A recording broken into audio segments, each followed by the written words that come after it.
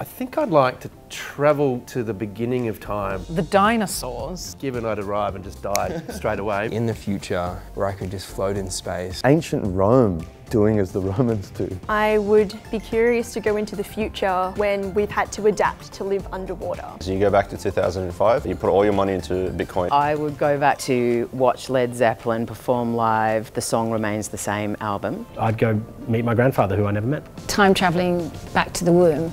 Oh. Not in the size I am now, but you know, just a little bit smaller. Or go back and see a Shakespeare. Imagine if it was bad. you go back and it's terrible.